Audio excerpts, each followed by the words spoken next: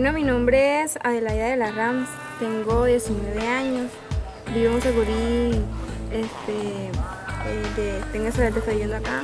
Estoy elaborando un monedero en estos momentos. Bueno, ustedes pueden elaborar este, el monedero eh, de diferentes formas, pueden eh, comenzar por hacer la pequeña base que es tejida con la misma palma que tiene que estar suave para poder este, coser la demás palma que en estos momentos está seca.